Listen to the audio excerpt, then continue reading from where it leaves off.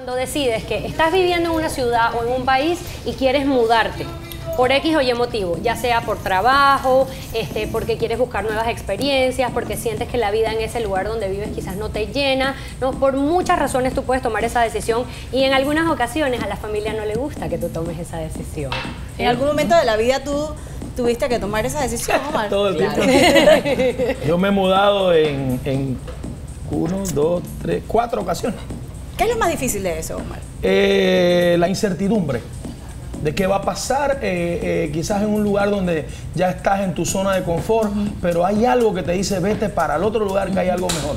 Sobre todo cuando ya involucra a los hijos.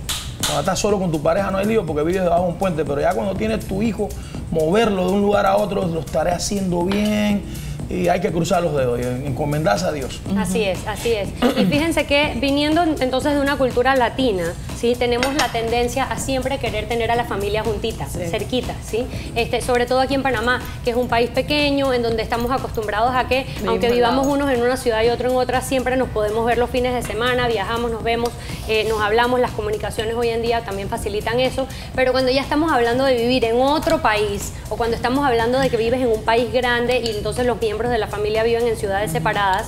Entonces, si es una cultura latina, la familia puede sentir como que, bueno, quizás estás tomando esta decisión y es como ser desleal a la familia.